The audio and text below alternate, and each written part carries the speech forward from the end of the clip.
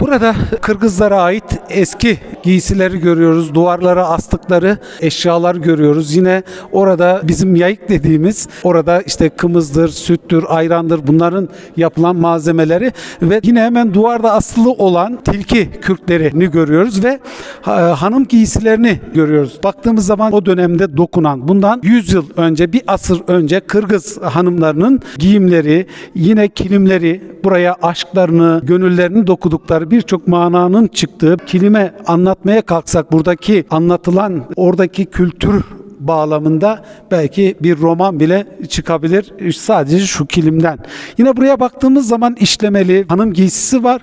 Hanım giysisinin de kendi içerisinde bölümleri var. Üst giysi, alt giysisi var ve yine burada e, hanımların bir asır önce giymiş oldukları giysileri görmekteyiz. Burada gümüşler var, takılar var. Bir hanım zarafetini görüyoruz. Burada bilezikler, yüzükler. Tabi burada bir şey daha var. Benim çok dikkatimi çeken e, her hanımın başında başlığı çok böyle hani sarığa benzer. Baktığımız zaman hepsinde böyle bir başlık var. Burada da başlıkların e, çeşitlerini görüyoruz. Bunlar bir e, hanım başlığı.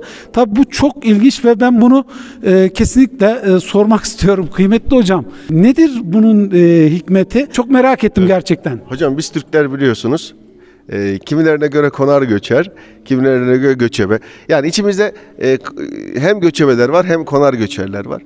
E, Kırgız kardeşlerimiz de e, e, bizim Türk boylarının içerisinde e, en son yerleşik hayata geçmiş e, kardeşlerimiz. Hocam e, devamlı yayladan ovaya, ovadan yaylaya, o yayladan öbür yaylaya hep geçişler var. Yaylak arasında Evet evet yani gelmişler. o hocam otun durumuna göre yani hayvanlar biliyorsunuz hocam işte acıyı tatlıyı çok iyi sezebiliyorlar bilebiliyorlar. Yüzyıllar boyunca bin yıllar boyunca da bu da keşfedilmiş. Şimdi bu yol hocam hep e, meşakkatli bir yol. Ee, hanım kardeşlerimiz e, yolda doğum yapabiliyorlar. Doğum yaptıkları zaman hocam bu çok uzun bir şey. 10-15 metreye de varıyor bazen. Onu hemen açıp hocam evladını sarıyor. Hocam daha ilginç bir şey. Yine burada iman, İslam faktörü ortaya çıkıyor. Hocam ve dikkat ettiyseniz genelde hep beyazdır. Evet. Hocam yolda göçerken Hak vaki olur. evet öbür dünyaya göç vakti geldiği zaman hocam göçtüğü zaman bunları kendisine kefen yapıyor.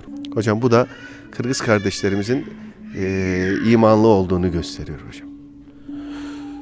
Sevgili dostlar, nereden nereye? Bir başlıktan muazzam bir hikaye çıktı yine.